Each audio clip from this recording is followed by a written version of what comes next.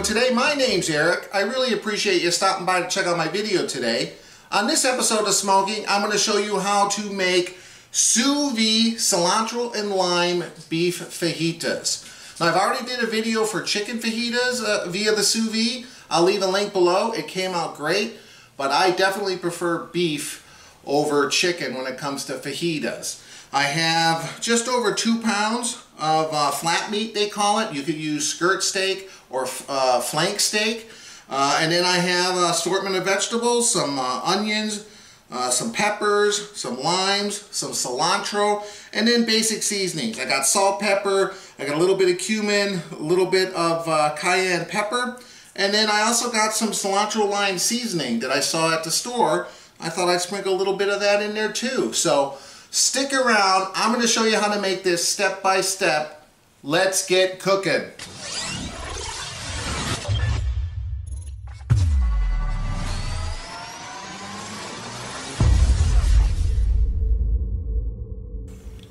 Alright, the first thing I did is to chop everything up. I chopped up some peppers and some onions as you can see. And then I also chopped up the meat. I cut the meat into, against the grain, into around uh, three quarter inch long, uh, inch wide strips. Now you don't have to cut it before you cook it. I am because I'm trying to save time. I'm just going to throw it into a hot pan to grill on each side when I'm done. Now some people like to finish this on a very hot grill, literally 30-40 seconds each side. This meat is so thin you don't want to overcook it. So if you're going to finish it on a grill, by all means leave the whole piece together and then slice it after the fact. But what we're going to do right now is we're going to make the marinade that we're going to soak uh, the meat in and cook the meat in in the sous vide bath. So we're going to start off with around a tablespoon and a half of olive oil. Need a little bit of oil in your marinade. I have around four, garlic cloves here that have been minced. Love garlic. Now I got two limes that I cut in half and squeezed all the juice. So the, the juice from two limes. Okay. Then I have around four tablespoons, maybe five tablespoons of chopped cilantro. You don't have to chop it really fine. This is just for the marinade. Okay, now we're going to do some dry ingredients here. I have some cumin right here, two teaspoons of cumin. That's a nice flavor. For a little bit of heat, I got one teaspoon of cayenne pepper. Next, I got one teaspoon of salt, one teaspoon of pepper. I kind of mixed it together in the same dish since I didn't have an extra dish. And now I got uh, a couple tablespoons of this cilantro and lime seasoning. Uh, you don't have to use this. This basically has uh, some red pepper flakes, green pepper, a little bit of salt, and some other spices. But you know what? I am making cilantro and lime beef fajitas, and this spice is cilantro and lime. I figure, you know what? I might as well. It certainly is not going to hurt it. So now we're just going to mix this up real good. Get it into a nice paste. And uh, let me get the meat into a bag. You can either uh, use a food saver bag. I don't think it's really necessary. We're only going to cook this meat for a couple hours. So if you just want to use a regular freezer bag, by all means, now use a regular freezer beef, bag. all we're going to do, take some kind of container or have someone help you. Oops. I just put it in here because it can stay open. And now I'm going to pour this delicious marinade that I made on top. And we're going to squish it around real good, get the pieces of meat coated real well. And then I'm going to heat up my sous vide machine, and this is going to go in the bath for around two hours. So once you get it in the bag, just kind of massage it around. Just make sure the bag is, is sealed. Just kind of move it around. Try to get all the pieces coated as best you can. So there you go. Just make sure every piece looks as uh, well coated as possible. Don't be too concerned because once it gets in the sous vide uh, and starts cooking, everything will kind of come together as well. So I'm going to do this with the air displacement. I'm going to put it in a bag, seal up the bag, just leave one open, one end open to kind of squeeze all that air out. And when we submerge it underwater, we'll make sure to get it airtight. So That's it. I'm going to heat up my sous vide machine. We'll be back in a minute. All right, so here we are. My sous vide just got uh, heated up to temperature, 132 degrees. Now, one thing I noticed, I try to put the vegetables in the Ziploc freezer bag into the water. And because it wasn't vacuum sealed, I had, it was impossible to get it submerged. It just kept popping up because the vegetables are so light. So I went ahead and vacuum sealed the vegetables. Uh, if you don't have a vacuum sealer, I would recommend maybe putting something heavy in the bag that's not going to rip uh, the bag like a knife or something. Maybe some spoons or something heavy to weigh it down.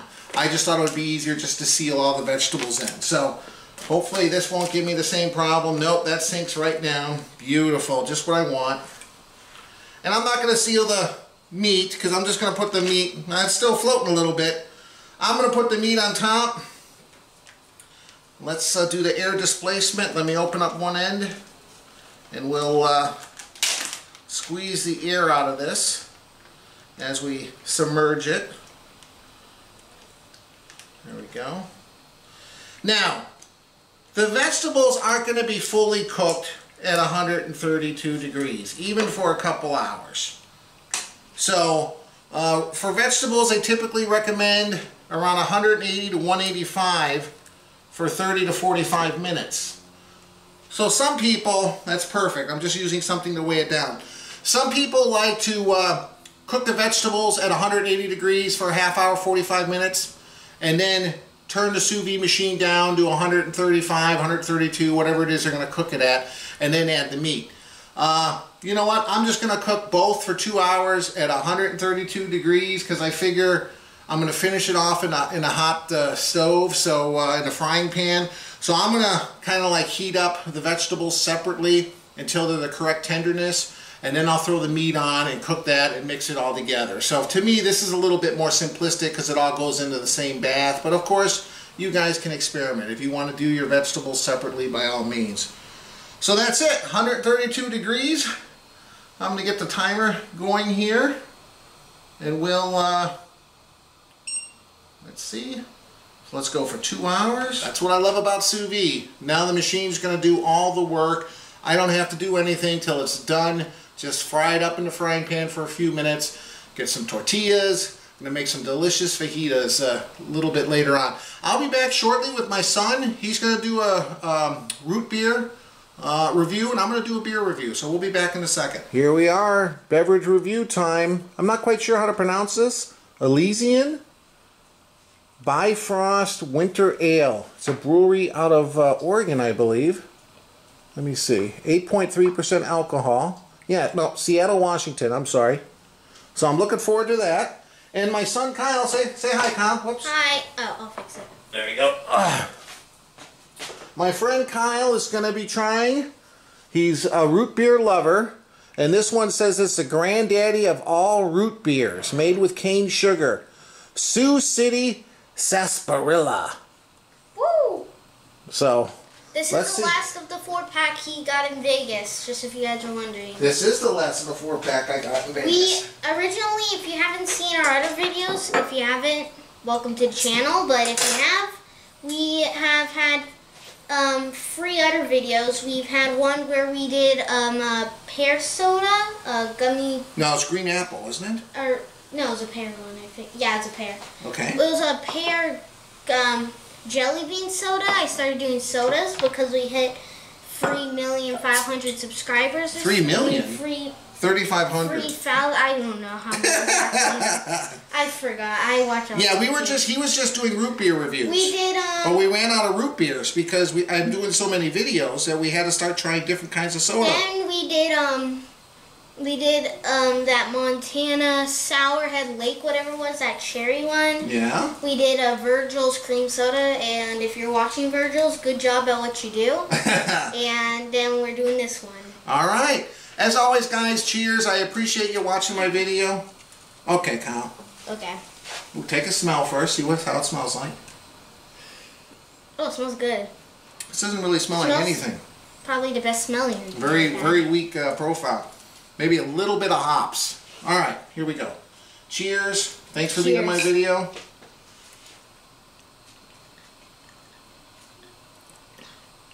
Oh, wow. All right, you tell me first. How's it taste? How do I explain it? Is it better than Wow. Virgil's root beer? That one's your, been your favorite so far. I would say Virgil's is really good. I wouldn't say I could pick between these two, but yeah, this is really good. Really good? All right. Mine, very hoppy. Tastes a little bit of fruit, maybe tangerine. It's not too strong. The fruit flavor kind of mellows out the hoppiness. Oh, but it is good. Mm-mm. Kyle. all right. I think I think you got it all. Nothing else is going to come out. So there you go. Let's enjoy our beers. Let's enjoy our beers, or I should say sarsaparilla. I don't know. I guess sarsaparilla is just another name for root beer. Yeah. Because it says sarsaparilla and then it says the father of all root beer. So cheers It again. is basically root beer. It is. As always, guys, again, I appreciate you watching me, uh, my video. We got uh, around an hour and 50 minutes left. Let the sous vide do its thing. I'm going to enjoy my beer. Kyle's going to enjoy his sarsaparilla. And we'll be back shortly when this is ready to come out. We'll saute it up and we'll have some delicious beef fajitas. Until then, cheers. Bye. One more time. Thanks, guys.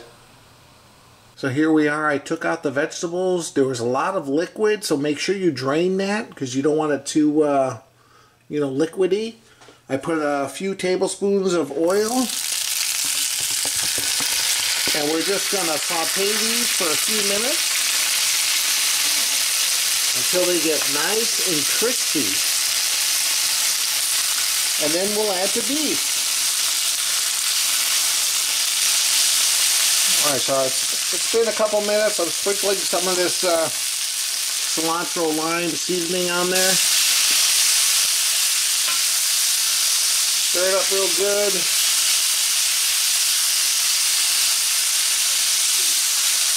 Just going to give it a couple more minutes and then we're going to add the beef. Alright, so after you've had it uh, sauteing for a few minutes, maybe four or five minutes, this looks about done. Try to move all the vegetables over on one side, and we're going to add the beef, the steak, just like this. And here we go. Here's this delicious steak. You can see, still nice and uh, kind of medium rare on the inside. We're not going to go crazy here. Just a couple minutes, and we're done. We don't want to overcook this.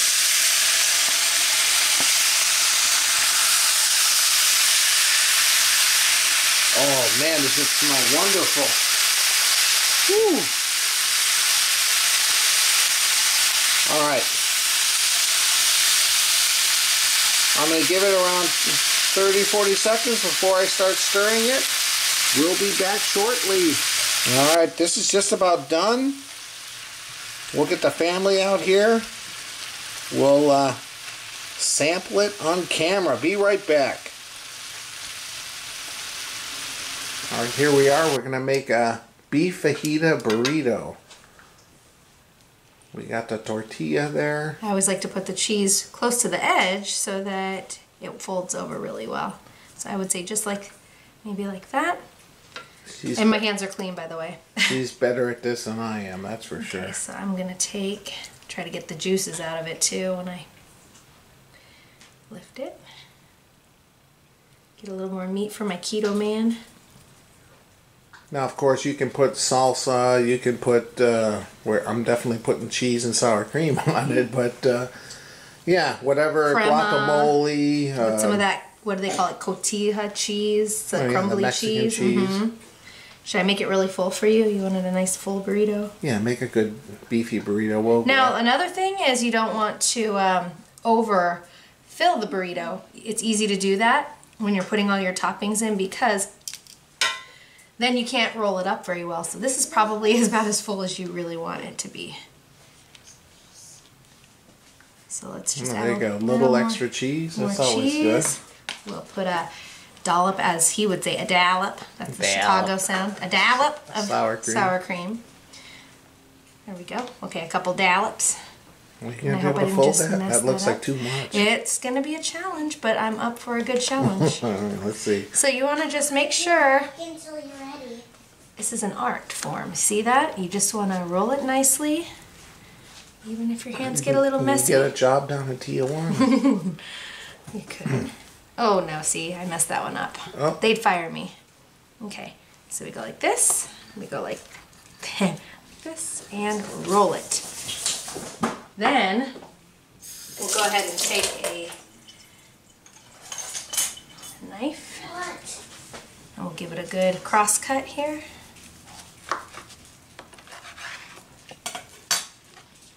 And there we go. Hang on, let me Wow, looks good. Let's try that. All right, here we are, ready to try that burrito. You ready? I'm ready. My wife Monica. Take this one. Ooh, I'm take sorry, it. it's falling apart. no, it's fine. Just wrap it a little tighter.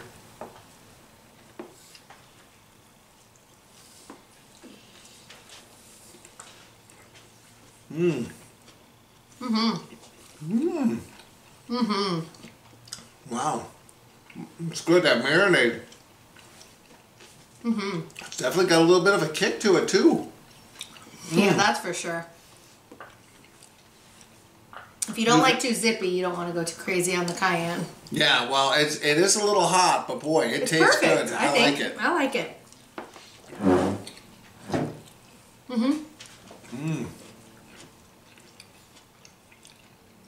Well, as always, guys, I appreciate you watching my video. Wow, this is really good and really easy.